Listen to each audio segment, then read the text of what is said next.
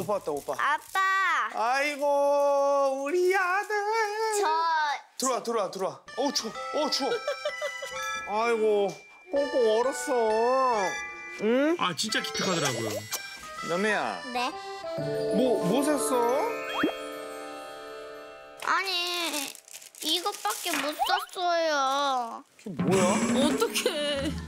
이거 하영이 거, 이거 엄마 거, 어머 이거 뭐야? 엄마 거, 이거는 3,600만 원 아니고? 그리고 이거는 아빠 위해서 사탕 샀죠. 어, 연우는 이거는- 진짜 효도도 달달하게 하네요. 아이고. 아이고. 아니 세상에 연우가 시- 네. 아침부터 아빠 심부름 해가지고 네. 연우 거는 사탕 하나밖에 안 샀어? 네.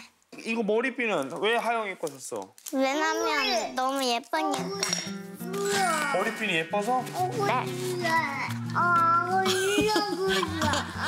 언니는 사탕에만 관심이 안 돼. 있어요. 아 저 저거 진짜 사탕이라 안 돼. 사탕 말고 오빠가 성 삐내보자.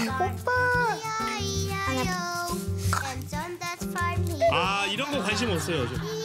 오로지 사탕. 와 이거 봐오 예뻐라. 아빠가 기분이다 오빠가 사온 사탕 마음껏 먹어봐 아, 아 제가 무설탕 사탕만 줬는데 어떻게? 아 입에 넣자마자 마음에 들어. 아 이건 신세계죠. 아 귀여워라. 신났어 신났어 지금. 아 좋아라. 하영아 사탕 맛있어?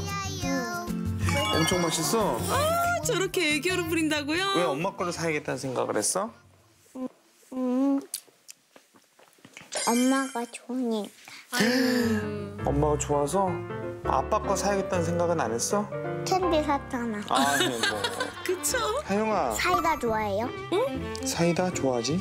사이다 저가 다음에 쏠게요. 다음에 연우가 사이다 쏜다고?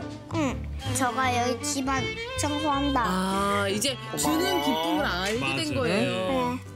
엄마 돈. 받았다. 그걸로 그걸로 어, 근데 말을 오빠가 정말 잘해요. 해줬어. 하영이도 사탕값. 오빠한테 뽀뽀. 오빠한테 뽀뽀. 아이고.